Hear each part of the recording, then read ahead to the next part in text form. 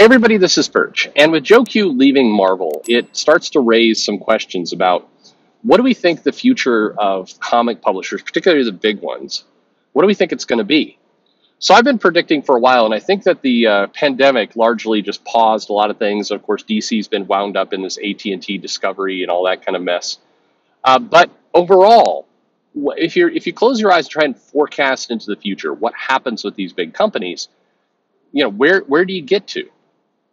Um, and I think the, uh, you know, the, the, the, reality is this both companies are sitting on top of billion dollar properties. So not, not small, not insubstantial, but massive, massive properties uh, at the comic companies. Characters and IP that are worth billions of dollars, both companies.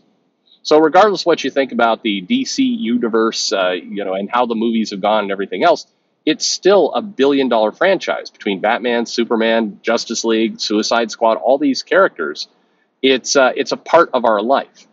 And if you think about the superhero genre ultimately starting to fade from popularity, it's still going to be a while. It's not going to go off of a cliff. You know, you just had Peacemaker, the series, do quite well, get renewed for a second season. You had the Batman movie come out, do quite well. They're certainly going to do more of those, or at least look to expand. You've got, uh, you know, Doctor Strange made you know, good money. Spider Man made good money over there for Sony. Uh, there's no slowing down. I think Thor: uh, Love and Thunder is going to make just an insane amount of money. That's my belief.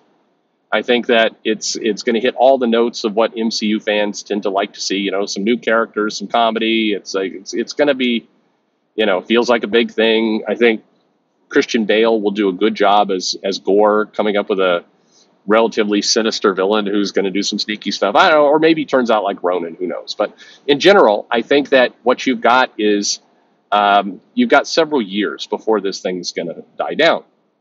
So, given that, Marvel and DC are not going to roll over and just you know stop publishing comics and, and everything else. It would it raise too many questions with all this money being generated by this IP, with all this attention that's going on.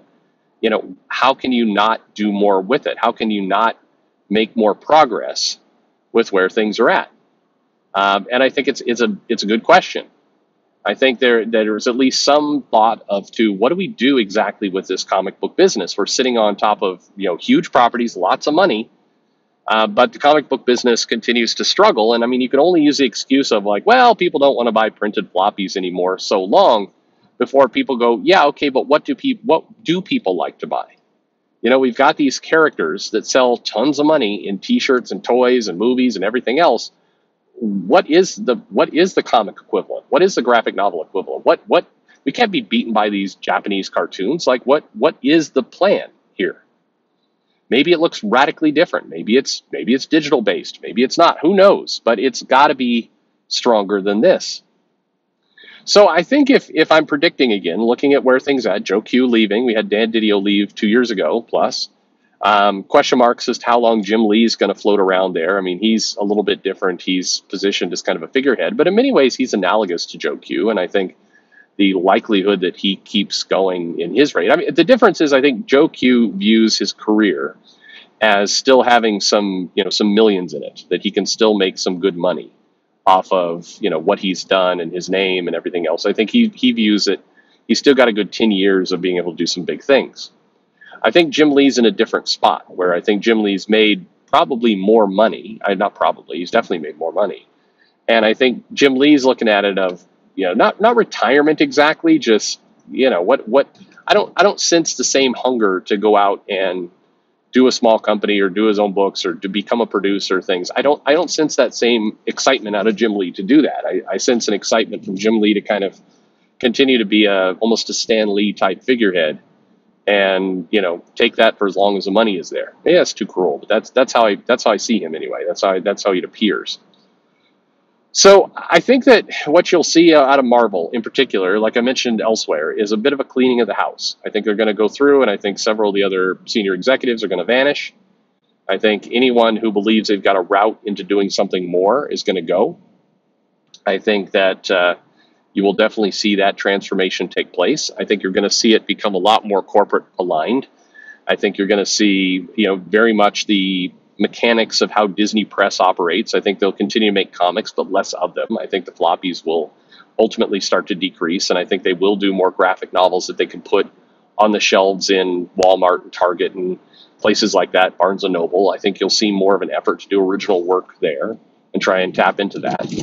I think you'll see at least more of an interest in licensing, meaning like, hey, you know, do we have a company, not IDW, who's got some cash that wants to go out and license some of these characters and do new things with them?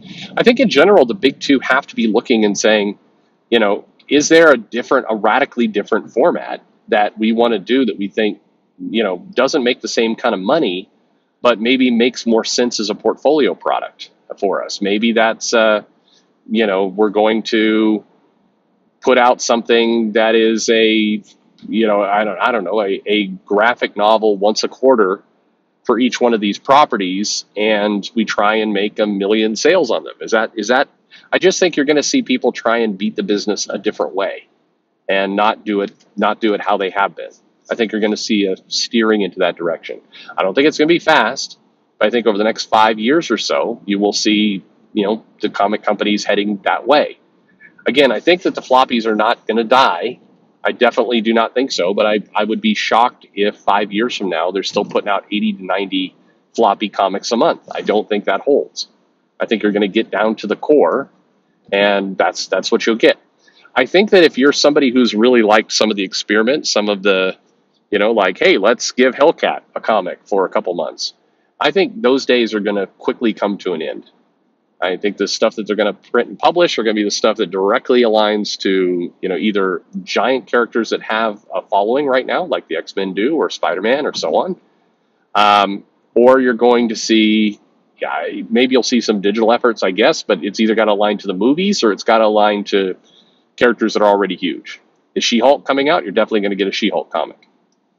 Is uh, Hellcat got a series come out? She doesn't. All right, then get you know no, she's not getting a series. I think you're going to start to see stuff like that.